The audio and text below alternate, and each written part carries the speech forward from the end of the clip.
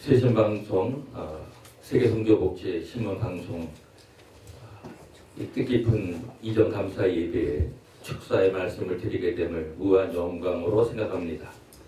먼저 하나님 말씀 봉독해 올리겠습니다. 누가복음 4장 16절, 17절, 18절입니다.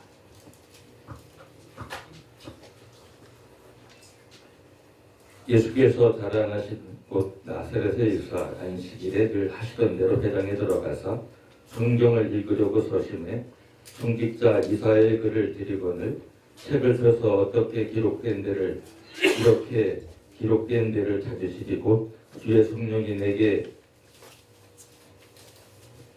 임하셨으니 이는 가난한 자에게 복음을 전하게 하려 고 내게 기름을 부으시고 나를 보내서 앞으로 된 자에게 자유를 눈먼 자에게 다시 보게 함을 전파하며 눌린 자를 자유롭게 하고 주의 은혜를 전파하게 하려 하심이라 하였더라. 아멘. 이 세, 세신 방송 세계 선교 복지 신문 방송을 통하여서 가난한 자에게 복음이 전파되기를 축사합니다. 아무것도 의지할 수 없는 자, 가난한 자입니다. 그들은 복음을 듣고 우리 주님, 성부, 성자, 성령, 삼위자 하나님을 믿는 믿음의 역사가 일어나서 그들의 삶이 어둠에서 빛으로 그리고 오늘 성경 말씀에 있는 대로 이제 포로된 자에게 자유를 마귀로부터 가난으로부터 질병으로부터 여러 가지 삶의 잘못된 인간관계로부터 다 자유함을 얻어서 그들의 삶이 변화되길 바라고요. 그리고 눈먼 자에게 다시 보게 함을 육적으로 눈이 어, 있는 자가 진짜 장님이 아니라 영적으로 눈이 먼 자가 정말 장님입니다. 하나님을 모르는 자가 정말 장님입니다.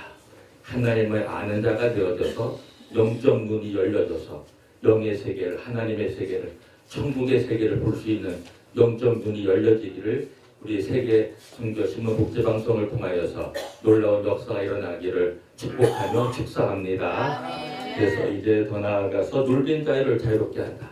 자, 우리나라 성경에는 눌린 자라고 했는데 뭐 영어 성경 비오페스트 뭐 압제받는 자, 예, 뭐 눌린 자 맞습니다. 어, 중국어 성경에는 압제받는 자 이렇게 되어 있습니다. 사실 오늘날 시대에 압제받는 일이 많고 눌리고 사는 일이 많은데 여러분 예수 믿는 사람 절대 눌리고 살면 안 돼요. 우리 깊이고 살고 예수를 잘 믿어서 눌려 사는 것이 아니라 많은 사람들을 깊이고 살고 힘차게 살고 날르면서 사는 자로 이 방송을 듣는 자가 저 천국을 나라는 북수레와 같이 이 지구에서부터 천국까지 갈 때까지 활짝 길을 펴고 힘차게 살아가는 놀라운 삶의 변화의 역사가 일어나기를 우리 이 세, 신방송, 이 세계성교복지신문 방송 이전 감사 예배를 통해서 이 방송을 듣는 모든 자에게 이런 축복의 역사가 저와 여러분과 모든 듣는 분들에게 일어나기를 주의 이름으로 축복하며 축사의 말씀으로 드리고자 합니다. 감사합니다.